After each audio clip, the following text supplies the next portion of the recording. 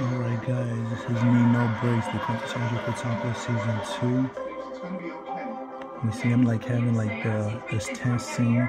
Some people's walking up the stairs. And then um pretty much we see um she's talking to her friend. They have like a really interesting conversation going on. And then we see she's talking to either the dad, that's the dad. The boyfriend says gift for you right here. What do you guys think about that? They have a Tracy, they have a face right here. That's kind of interesting. It's really hilarious.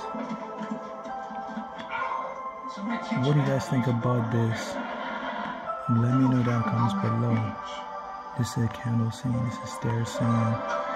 Still focusing down the stairs. She's having a train with her face on it. And it's really hilarious. It looks like it's Shonen as well too. What do you think about that? Let me know in the comments below. We're going to be watching more please subscribe channel. See you next video. Bye. See you next video. Bye. So there's no more breaks.